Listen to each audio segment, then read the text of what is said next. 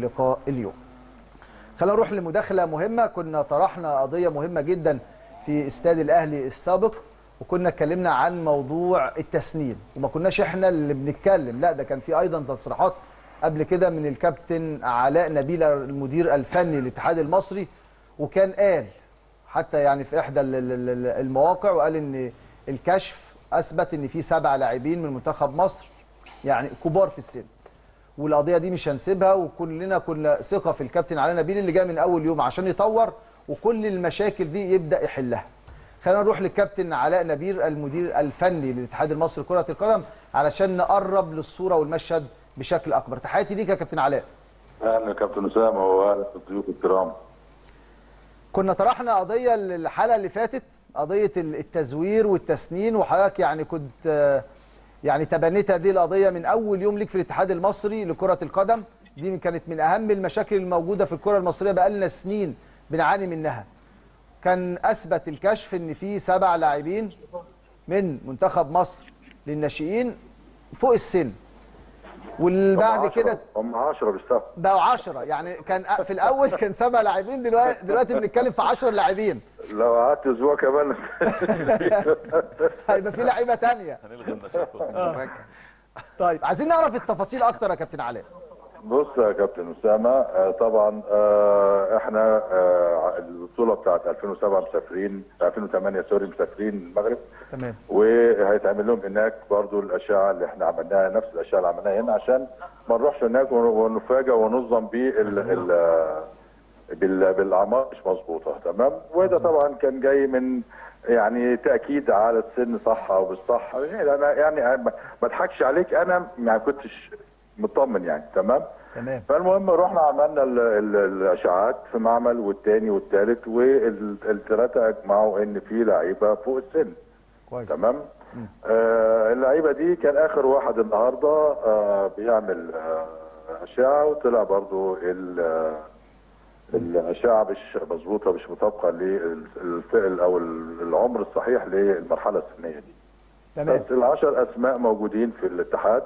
الاتحاد آه، هيخاطب الأندية اللي هي آه، وعارفيني من أنا أقول الأندية أو أسماء اللاعبين بلاش. بلاش بلاش ندخل الأندية في أيوه ماشي أيوه. تمام. الأندية آه هيتبعت لها جوابات من من الاتحاد إن اللعيبة دي ما تلعبش في هذه المرحلة السنية لأن الأعمار مش مظبوطة.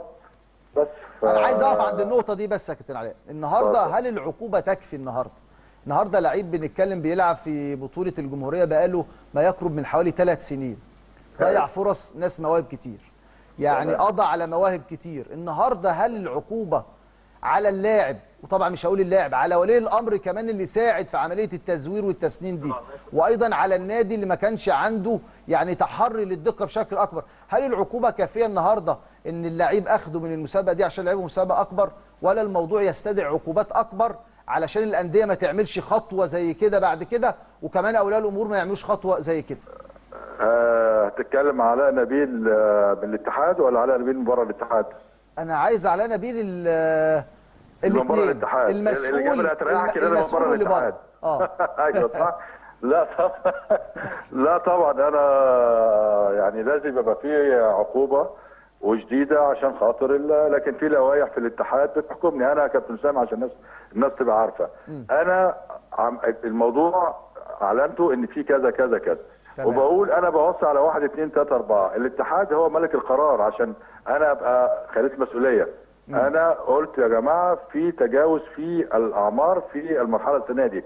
أنت بتتكلم على 10 لعيبة. لو قلنا كابتن أسامة 40 لعيب اتاخدوا في مكان ال 2008 لما يطلع منهم 25% لعيبة مش سليمه ده مؤشر خطير جدا طبعا. مش واحد ولا اثنين انت حضرتك كمان عشان المشاهدين الكابتن علي بيتكلم عن اللعيبة اللي تم استدعائها للمنتخب فقط المنتخب أما فقط، اللعيبة. الثانية اللي في الأندية اللي ما تمش استدعائهم في كوارث ثانية كمان تمام هو هو الاتحاد امبارح خد قرار آه. بتغيير معملين هيتبعتوا في الجوابات للأندية إن أي حد شاكك في أي لعيب هياخده من إيده النادي اللي مبلغ. هياخده بايده يعملوا الأشعة على حسابه في المعامل بدون ذكر برضه الأسماء معامل معينة هو الاتحاد هيتعامل معاها لكن لو في نادي اعترض على اللاعب من في خلال مباراة والاسم موجود من 10 يتم شطب النتائج تمام. يعني هي العملية هتبقى شطب نتائج زائد تصعيد اللاعب المسند ده لمرحلة سنية. السنية الأكبر. مرحلة سنية أكبر. آه. الكابتن علاء كان ليه زيارة مهمة جدا لوزير الصحة الأيام السابقة. وزي ما قلنا إحنا عندنا ثقة كبيرة جدا في الكابتن علاء إنه جاي يطور وجاي يصلح المشاكل الكبيرة اللي بقالنا سنين. النتائج الجلسة مع وزير الصحة وكمان الاتصالات ال- ال- اللي كانت دورية مع وزير الرياضة بشأن الموضوع ده يا كابتن علاء. هو طبعا آه، الوزارتين وزارة الشباب والرياضة اللي إحنا نتبع عليهم لاتحاد الكرة المصري ووزارة الصحة. لما كان عملنا الزياره هناك اللي طبعا آه، اتشرح فيها كل ظاهرة كبيره اللي إحنا عندنا تجاوزات في هذه ال- ال- اللعبة بالذات الخطيرة اللي هي تعتبر اللعبه الشعب اللعبة الشعبية الأولى في مصر. آه. اللي عندنا تجاوز في الأعمار. أنا بيجي لي صور آه، لعيبة استحالة يعني. يعني برضو أنا من الناس اللي أنا عشان كده قلت لك إيه لو أنا بره الاتحاد أنا أوقع عقوبة على النادي وأوقع عقوبة على الإداري لأن المنظر بيبقى باين. هو أنا النهارده لما يجي لي لعيب من بره يقول لك أصل ورقه سليم. هي دي دي دي اللغة دي اللغة اللي بتحصل الورق سليم. الورق سليم ما أنت ليك عين. ما انت تروح ينور عليك. تسأل. مظبوط. فانا طبعا ده الكشف البصري بقى اللي بنقول عليه. أيوه بالك؟ البصري آه إحنا آه، الاتفاق كان مع سياده وزير الصحة إن طبعا طبعا مش هينفع أسكال في التليفون أو في مداخلة لكن في حاجات آه، قوية جدا هنعرف من خلالها وإن العمر الصحيح بتاع اللاعب ولو الورق صحيح وطالع صحيح. والموضوع اوفر أو الجسم بالسليم آه سوف يتم عن طريق وزارة الصحة الكشف وده وإعطاء تقرير كامل على المرحلة السنيه بتاعت هذا اللاعب. تمام؟ عشان أنا لازم يبقى في جهه جهة رسمية من الدولة هي المتبنية هذا الموضوع. يا ريت، مش هتبقى يا ريت. حاجات خاصة. يا ريت. هل تضم صوت صوتك يا كابتن علاء في حتة الأندية؟ لازم الأندية تشتغل أكتر على الموضوع ده. وزي ما حضرتك بتقول ما ينفعش النادي يقول ده أصل اللعيب ورقه سليم واللعيب جالي والكلام ده. هل ممكن توصل إن نادي ممكن يتوقف من القيد لمدة سنة بسبب إن هو ما اهتمش مش هقول إن هو ساعد اللاعب لكن هو ما اهتمش إنه يدور ورا اللاعب ويشوف ورقه سليم وسنه سليم ولا لأ. هو هو لازم يبقى لازم الانديه تعمل كده. فهي عارف إن أنت لما- بص خلينا نتكلم بصراحة لما تضرب من أول مرة كده هتبقى الموضوع إحنا بنحذر. آه. إحنا دلوقتي هنشرب نتائج تمام؟ المرة الجاية في عقوبات قاسية جدا. عشان تبتدي الناس على الموسم الجاي تبتدي تشوف هتجيب إيه آه. والأوراق اللي هتيجي إيه ووزارة الصحة هتعمل بروتوكول عن طريق وزارة الشباب والرياضه بروتوكول مع اتحاد الكورة في كل الأقاليم. هيتعين مستشفيات خاصة تبع وزارة الصحة هيروحوا يكشفوا فيها وهتبقى في كل الدعم للرياضيين. حتى أنا قلت لسياده وزير الصحة قلت له الموضوع مش موضوع كورة بس.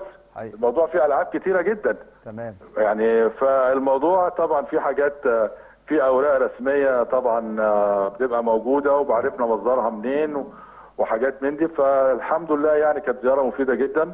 وسياده وزير الشباب والرياضه برضو كان على اتصال بيا من يومين واتكلمنا في هذا الموضوع قال لي لازم نكمل في هذا الموضوع.